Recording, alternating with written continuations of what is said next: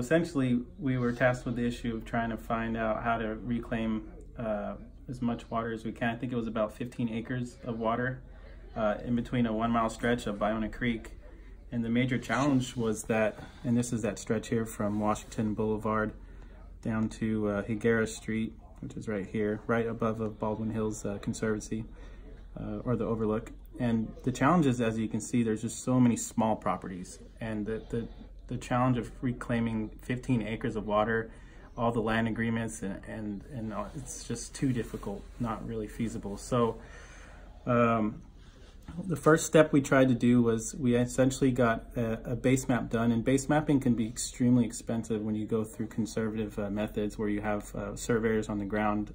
They run about 2500 bucks a day and that just wasn't feasible. So we got a, a, a survey group that was able to fly this with a drone in one day and then they basically cross-referenced the, the footage they got with public GIS data to find out what known utilities are around and we started there I gave that data to a hydrologist and they essentially started mapping out where all the high uh, or where the most water is. And the idea was if we're going to spend money trying to investigate uh, water capture, we definitely want to go to this point, the points that have the, the maximum amount of water so we can get the best bang for a buck. Uh, and what we, we, what we found was this a bunch of interesting things. For example, um, there's this uh, treatment plant, a water treatment plant that doesn't seem like it's in operation anymore and it used to be for uh, well water and it sounds like the, the contamination in the groundwater supply got to a point where operating this facility is no longer feasible. So looking at that, that was a, a good idea to look at and say, well, can we repurpose this possibly?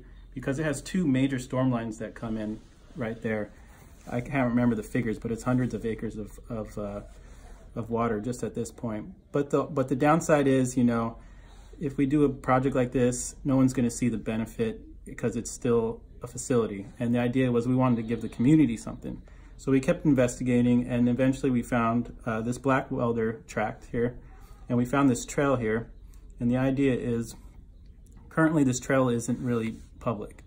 It's uh, got access easement and uh, and there's really no, uh, you know, designed landscape in the area but all these businesses back up against it, which uh, creates an opportunity of, you know, of ways being, businesses could potentially mingle with the, with the trail. So the idea was we will repurpose this and create a trail that's public and that would, that would boost, you know, the uh, employee engagement with the area. You can uh, get the public going through here. So it seems to get some multi benefits and ultimately it butts up against the creek. And that's really where we wanted to focus our, uh, our efforts was to try to give the community something along the creek so that they can start enjoying these uh, these creeks because that's kind of the sad thing is that they're all concreted and you just drive past them but nobody tries to engage with them and I think when you start engaging with these creeks uh, you'll start seeing a lot more uh, more of these projects pop up so but this alone will probably and likely not claim the water we need so we looked at another site and that's uh, Hayden Tract down here. So Hayden Tract, after walking it, um, there's actually a really nice flat strip of land right behind it. And um, so we're looking at- Is that along the creek? Yes. That's right along the creek, yeah. yeah. And you, you mentioned Milton Street Park, so it's a pretty similar situation, but um, currently it's just essentially an easement. It's not being utilized. These businesses just put a fence up. Uh, all these all these streets that you see coming down here, essentially all the water, and this is about 15 acres by itself here, but all that water basically collects into these drains and then dumps into the creek. So the idea is now we're looking at investigating this and saying, can we give the community a, a strip park and uh, reclaim all the steps it takes to do these projects, you know, uh, not everybody knows how to do them and uh, they don't have to be huge. They can be scaled down to your front yard. And I think education is the biggest key here is that when you start teaching uh, the average person how to do this process on their own and a smaller scale, then I think we can see good things. Um, and they, this, when you see a storm drain, for example, let's see if I can find one, but here's a, you can see some in here, there's an outlet there, but essentially what happens is the storm drain has a tributary area of its own. And so there's two aspects to the project. And when you're thinking, what's the problem of water, stormwater going to the creek, other than the fact that we're not reclaiming it and using it, is that it, it carries a lot of contamination.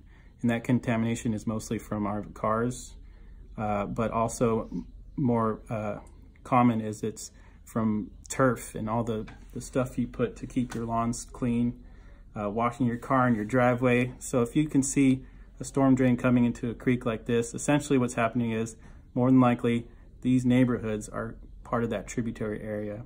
And every right. single person that's washing their car is dumping these chemicals into the creek and it's having a negative effect on the ocean life. Um, so when you do these projects, one step is reclaiming as much water as you can through the infrastructure. But then the, another, and I think more important step is actually the education on the tributary area and and trying to stop the contaminations before it gets to the point where you're reclaiming. And that can be done through outreach programs, uh, you know, turf removal programs. But like I said, the city has these turf removal programs and they're very effective. I used it on my own house. Uh, but the challenge is you have to apply for it. A lot of people don't even know about them. And then they don't know what's the first step do I do anyway. So, right. So we're trying to look and, and see, you know, what can we do to kind of reinforce the turf programs. Um, and it sounds like people, essentially, if they can just get handed a turnkey kind of uh, option of, you know, hey, here's a guy that can strip your turf, here's a guy that can dig for you, and, and, and here's a guy who can help you design a garden.